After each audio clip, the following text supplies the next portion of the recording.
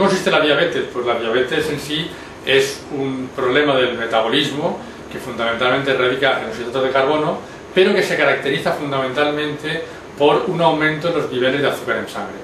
Ese aumento de los niveles de azúcar en sangre puede dar o no una serie de síntomas, pero al cabo del tiempo va a ocasionar una serie de problemas que tratan por tanto de, eh, afectar crónicamente a las personas y que desembocan en una serie de complicaciones a todos los niveles, oculares, cardíacos, nerviosos, a nivel de la esfera genitourinaria, eh, a nivel de los pies, etc. De tal manera que su detección precoz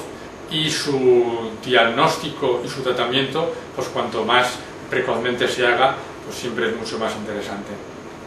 ¿Cómo diagnosticamos una diabetes? ¿Cómo se puede detectar? Como he dicho, se manifiesta fundamentalmente por un aumento de los niveles de glucosa en sangre. Con lo cual,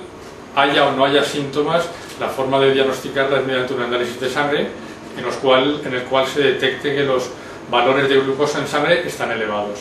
Eso, como digo, en algunas ocasiones, cuando está muy alto, se manifiesta en forma de una clínica muy típica que, muchas veces la gente la conoce porque se orina mucho, se tiene mucha sed, se pierde peso, pero esos son la, menor parte de los casos. La mayoría de casos se detecta casualmente en un análisis de rutina y, como digo, no da casi ningún síntoma, pero a pesar de esos pocos síntomas, sí que ese aumento de los niveles de azúcar va poco a poco deteriorando el organismo. Digamos que eso lo que traduce es que hay un problema con la insulina y por eso aumentan los niveles de glucosa en sangre y en base a eso se hablan de varios tipos de diabetes. Eh, los más importantes son la diabetes tipo 1 y la diabetes tipo 2. La diabetes tipo 1 se caracteriza porque a las personas les falta la insulina, es decir, les falta la hormona que introduce la glucosa dentro de las células. Y entonces la glucosa aumenta en la sangre y aparecen estos síntomas. Esto es el tipo menos frecuente de diabetes y es un grupo de personas que necesitan insulina porque como he dicho se caracteriza porque no tienen insulina. La mayor parte de los diabéticos y eh, el mayor aumento en la prevalencia de diabetes está ocurriendo a raíz de la diabetes tipo 2, que afecta a más del 90% o representa más del 90% de los casos de diabetes. Suele ser gente más mayor, aunque también lo estamos viendo en gente joven eh, cada vez de una forma más, más frecuente, y en este caso el problema que tienen con la insulina no es que les falte, sino que tienen una resistencia a la acción de la insulina, muchas veces ocasionada por la obesidad. Es decir, que en muchos casos lo que ocasiona la diabetes es la obesidad. El que está aumentando la prevalencia de diabetes en nuestro medio es porque está aumentando el número de personas obesas. De tal manera que esas personas muchas veces no dan prácticamente síntomas y se detecta en el análisis de sangre.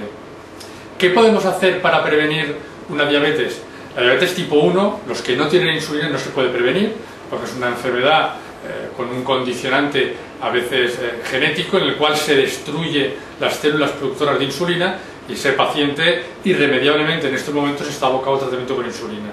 Pero la mayor parte de los diabéticos son diabéticos tipo 2, como he dicho se relaciona con el exceso de peso, con la obesidad y la forma de prevenir la aparición de una diabetes es retrasando la obesidad, previniendo la obesidad. Si conseguimos que una persona obesa deje de serlo, si una persona joven, si un niño conseguimos que no se haga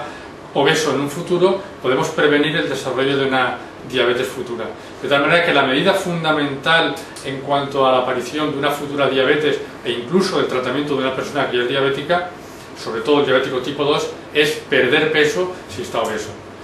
Si eh, con esas medidas, a pesar de ello, se desarrolla la diabetes, pues lógicamente la recomendación va a ser que se ponga en contacto con su médico de atención primaria, que en función de unos protocolos que aquí en el Hospital General tenemos ya establecidos, los seguirá visitando en la atención primaria o lo irá derivando a los diversos canales asistenciales hacia el endocrinólogo del hospital, hacia el endocrinólogo del ambulatorio, en donde recibirá la atención que se considere oportuna, recibirá el tratamiento prescrito y una parte muy importante a la cual prestamos una atención especial es el tema de la educación diabetológica.